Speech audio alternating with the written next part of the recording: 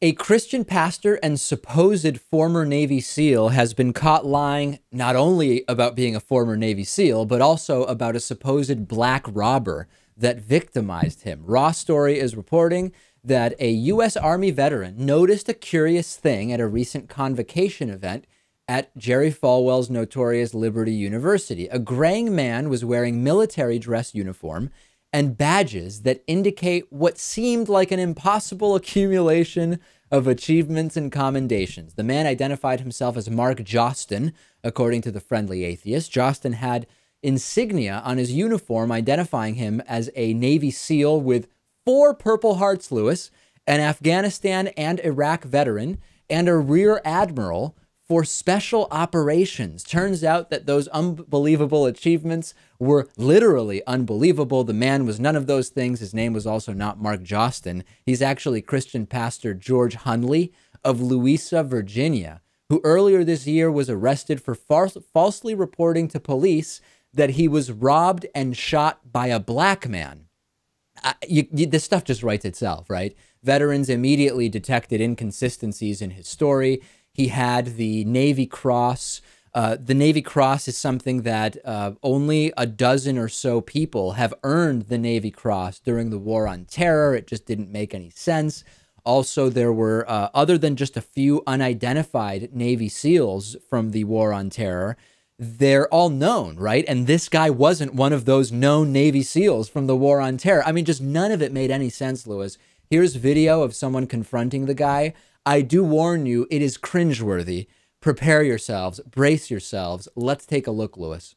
So can you tell me you're a Navy SEAL with, what I see is four Purple Hearts, a Navy Cross, Silver Star, Bronze Star. Yep.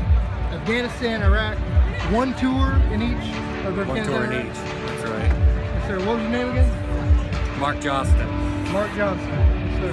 Jostin. Second? Like the ring, Mark Johnston. Okay, and you're Rear Admiral. Rear Admiral. For the CIA Special Operations. What yes, was it? Special Operations Division. Thanks, sir. Appreciate it. I read actually that he was also in the Vietnam War. He was on SEAL Team 6 and he was the director of photography for The Godfather. Uh, Dave, you may find this hard to believe, but this is all much more believable when I tell you that this is actually James Bond. uh, I, I, found out it's it's pretty incredible. You can look at this guy and know that this is all fake. I mean, when you see the video and you see he's just got this impossible stack of medals that's just this this it's a combination that anyone with any military knowledge would know is impossible. Don't worry though, this is a man of God. He's pro family. I'm sure anti abortion, and if we're lucky, he's anti gay. So we don't really have to worry about his uh, uh, race, racially tinged lies to law enforcement and his complete deception about his faked military past. I don't even understand what the point of this is. I, I, I watched the video, Dave. Yeah. I think this guy might be mentally ill. I'm not kidding. In It's- what way, though?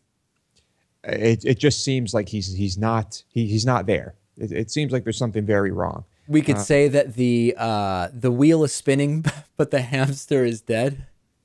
That that sounds like it could be accurate. Yeah. He is a a proud Christian, though, Lewis. And I mean, Christians are being persecuted in the United States. So, you know, America.